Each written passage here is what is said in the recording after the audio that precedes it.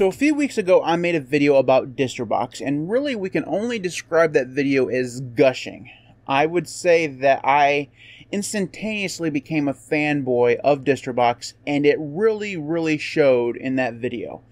I have since wrote blog posts about it. I did a Patreon exclusive podcast about DistroBox.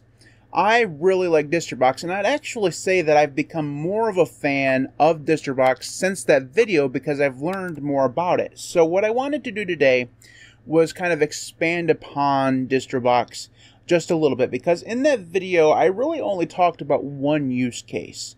Now, I talked about using applications and stuff like, like that inside of DistroBox, but I really focused on being able to export a window manager that you installed inside of a DistroBox container and then run it on your host machine. That was the main purpose of that video. Today, what I want to do is talk about five extra uses of DistroBox that I think kind of apply to a lot of people. So let's go ahead and jump in. But before we do, if you'd be so kind as to leave a thumbs up on this video, I'd really appreciate it. It really does help the channel. Okay, so let's go ahead and jump in. The first one, and it's a simple one, and a lot of these have to do with learning, but we'll talk about that later. But the first one is that DistroBox allows you to learn more about alternative package managers. So, for example, let's just say you've always been an Ubuntu guy, right? Every time you've ever used Linux or you've been using Linux for years, all you've ever done is installed Ubuntu or Ubuntu based distros, or Debian based distros if you want to go more broadly. And because that's true, you don't have a lot of experience with other package managers. You don't know what is good about Pacman. You have never used Zypper or DNF or any of these other package managers, and you want to give them a try, but you don't want to leave your awesome Ubuntu installation that you've been using for years. I don't blame you.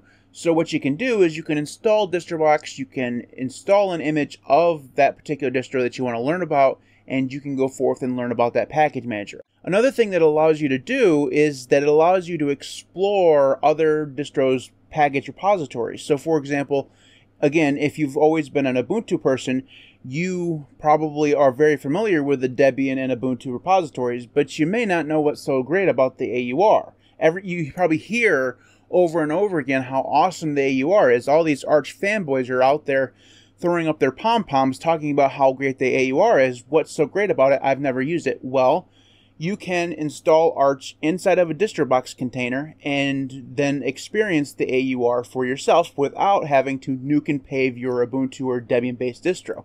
You can just use it just like an Arch user would use it. It's really quite cool. So that was kind of a twofer, but the idea is that you can get really familiar with package managers and package repositories without having to leave your host system behind. So that's the first one. The second one is very related, and that is that it allows you to test distros and packages. So if you are looking beyond the package manager and you want to experience how Arch truly runs, or if you want to learn how, say, Gentoo actually functions, you can install Gentoo or Arch in a distro box and experience at least a smidge of what those distributions are like. Now, I know a lot of Gentoo users. Some of them are my dear friends, and uh, some of them are my trolls. Uh, some of my some of them are both trolls and friends. Uh, but I want to put this out there. Just because you've installed Gentoo in a distro box does not mean you've installed Gentoo. You haven't truly experienced the installation of Gentoo until you've actually installed Gentoo. So we just have to put that disclaimer in there. The installation of Gentoo is kind of the main point of Gentoo beyond the ability to use use flags. So we don't want to discount the fact that installing Gentoo is a task that a lot of people consider a sacred rite.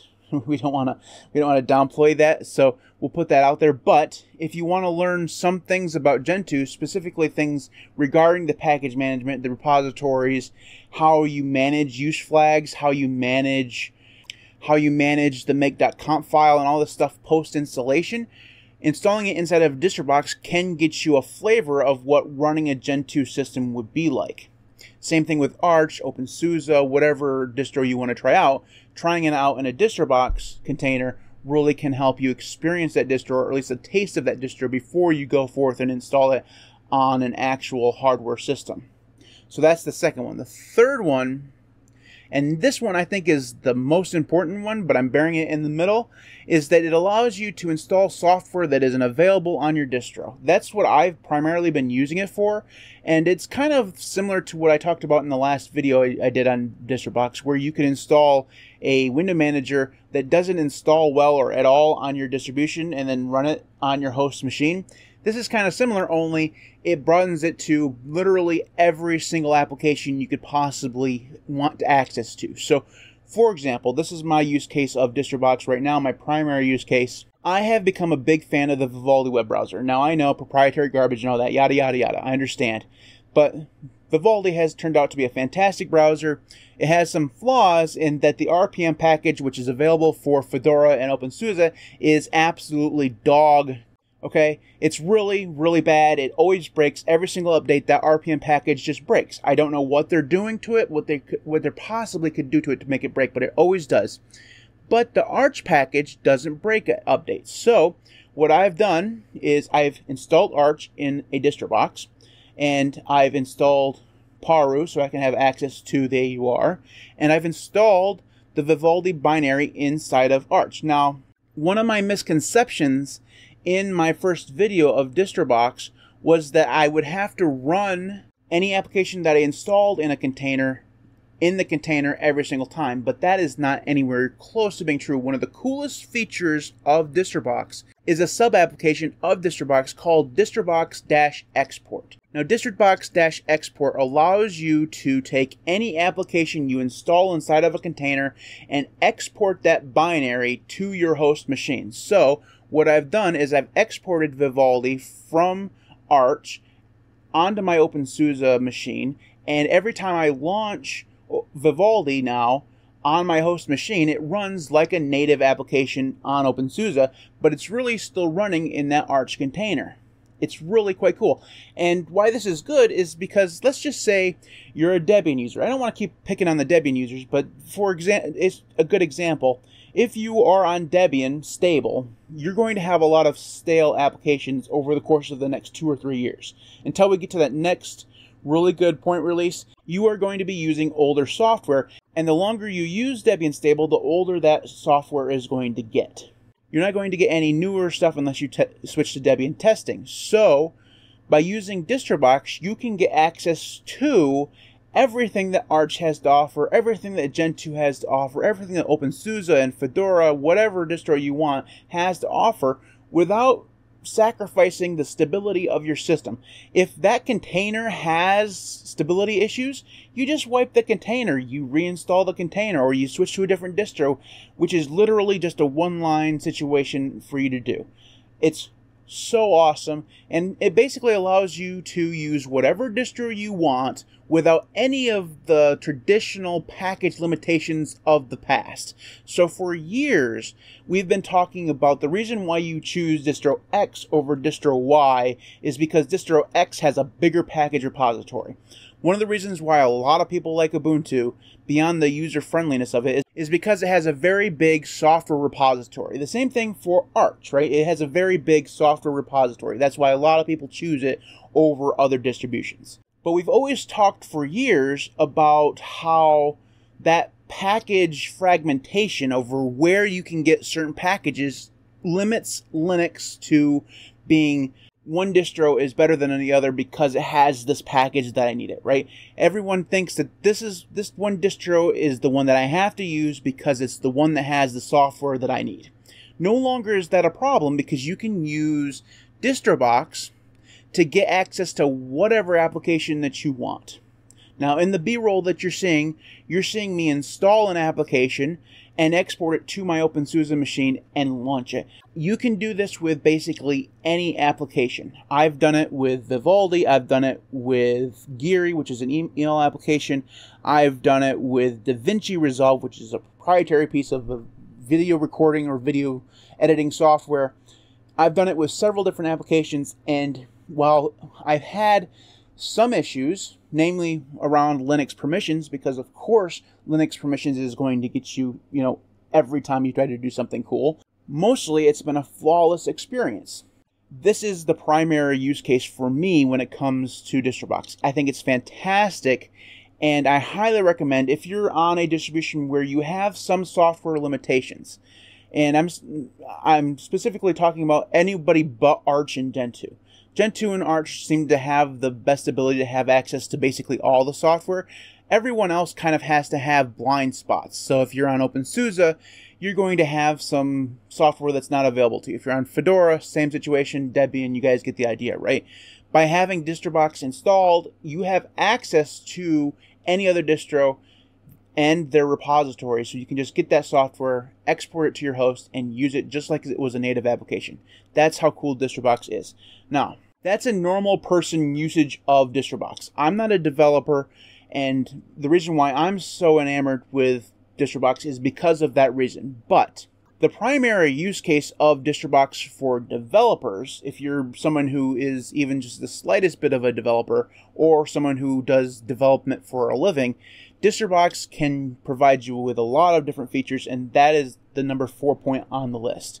So if you are a developer, by being able to access any distribution inside of a container with a single line, you're able to do any number of things. You're able to access distros that have different versions of compilers, of dependencies that you're looking for. You could to test your application against those dependencies and against those compilers. You can test your application against different versions of different distributions. So if you want to make sure your application runs on Ubuntu and Ubuntu Mate or Ubuntu uh, the most recent version of Ubuntu and Ubuntu LTS. That's probably a better example the most recent version of Ubuntu and Ubuntu LTS, if you wanted to test your application in both of those versions of Ubuntu, you could do that really easily inside of two different DistroBox containers and make sure that your application actually will not only install, but run properly while in those environments. So if you're a developer who, are, who is looking towards testing on multiple versions of Linux, no longer do you have to have a crap ton of VMs out there or a whole bunch of different computers all running different you know distributions you can test all of your your applications on every distribution that DistroBox has to offer and ensure that your application works on the main distros without having to do any of the old stuff that you'd used to have to do. So if you're a developer, you have a ton of different ways you can use DistroBox, and I'm sure I'm only scratching the surface. But again, I'm not a developer, but I wanted to make sure I pointed those use cases out. So the last one is, and this one here is not going to be for everybody. Uh, I guess the last one wasn't really for everybody either, but this one, I know that the idea of an immutable distribution is very polarizing in the Linux community. So if you are someone who is interested in immutable distros, DistroBox is an amazing tool because basically what it allows you to do, and, and one of actually, let me put it this way: immutable distros have a significant flaw, in that you don't have permanent access to your root directory. You have that lower level of the operating system that you don't have write access to. Now, technically, you, there's ways around this, of course, and we've talked about that before on the channel. But by default, that lower level is going to be something that is kind of containerized off from the rest of user space. By having DistroBox installed on an immutable distro, you have your own root directory that you can play around with just like you can on any traditional Linux distribution. So if let's just say, for example, you're using an immutable version of Arch. They, those do exist, although they're not as plentiful as the ones made on Fedora. So let's say you're using this immutable distribution of Arch, and you want to mess around with your etc file and you want to mess around with all the stuff that you traditionally could mess around in Arch, but you're not supposed to in this immutable distro. You can install Arch in a distro box and do all the messing around that you want inside of that root directory uh, and never have to worry about affecting the stability of your immutable distro that's laying underneath. You can do all of the stuff that you want to do inside of that container, and it just allows you to have the freedom that you traditionally get with Linux without having to sacrifice the benefits of the immutable distro that you're running. Another thing w- regarding the immutable distro thing is that it allows you to install software that you would not usually have access to. So if you wanted to, say, for example, install a window manager or something like that, you could install it inside of a container and you could then run it traditionally on your your immutable distro without having to affect the lower level of your immutable distro. You don't have to write to any of that stuff because it's, it's living inside of a container. Same with any other application that you'd want to install. Also, because most immutable distros are highly reliant on other containerized package formats, mostly Flatpaks, although in Ubuntu's case it's going to be snaps, because that's true, you don't often have a lot of access to as much software as you would traditionally have on most distributions.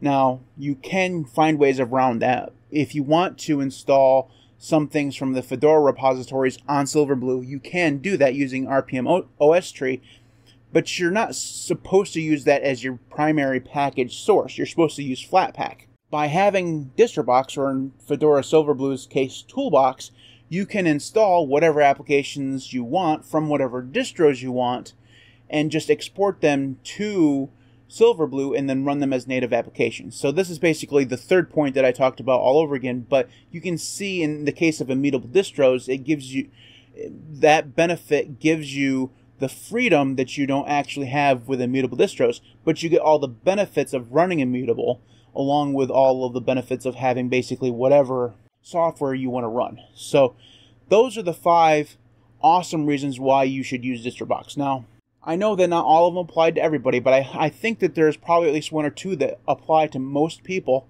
DistroBox is one of those things that make me just so happy that I use Linux. It is so freaking cool, and every time that I find another use case for it, every time I find another reason to use it, I just get so happy because it's just an amazing tool I think that it really, let me put it this way I think that it fixes one of the primary things that has always been wrong with Linux, and that is fragmentation. Now, we talked about the good and bad of fragmentation many times on this channel, but people choose their distributions and then they become warriors for those distributions, right? And they develop for those distributions and they support those distributions and then they live in that silo forever and ever without ever experiencing other things and they never have access to some of the awesome tools that live on other distributions. By having a tool like distrobox you are opening up all of your potential possibilities to every thing that Linux has to offer. And you can get those possibilities, have those opportunities without having to sacrifice the base distro that you love. So if you are an uber OpenSUSE fanboy, like me, I don't know if you noticed, it's the sticker. If you're an OpenSUSE fanboy, you can run OpenSUSE. Let's just say you wanted to use Leap. It's the stable version of OpenSUSE. It has all of the traditional flaws of a stable release distribution. You can have DistroBox on that install and have access to literally all of Linux, everything that it has to offer, and it's just an amazing tool and an amazing feeling to, to just kind of have complete freedom while also being able to use the thing that you love. So in the past, you'd have to make a choice. You have to make sacrifices. You'd have to use your distro knowing that there are some things that you're not going to have access to. So if you were an OpenSUSE fanboy, you'd have to use it knowing that you're never going to have the gloriness, the gloriness, the glory that is the AUR.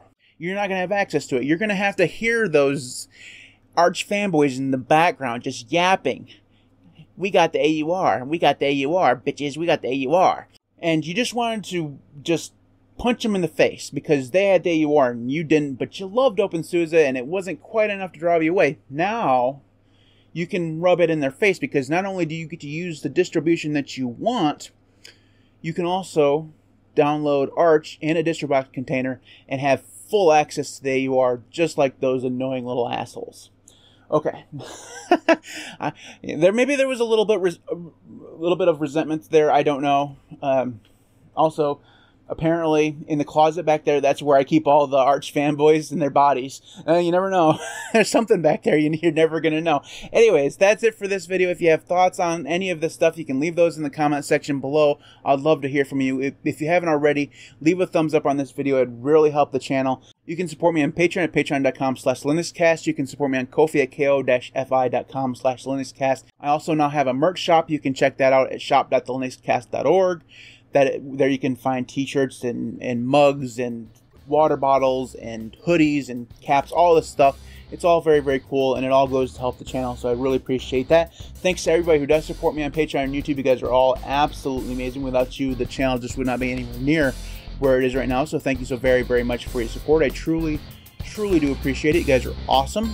Thanks everybody for your support. Thanks everybody for watching and putting up with this uh, overly glowing uh, review, I guess, or, or talk about DistroBox. I'm sure this will not be the last time I come out here and just completely fanboy over this because it's really, truly that awesome. Anyways, I'll stop talking and rambling now. Thanks for watching. I'll see you next time.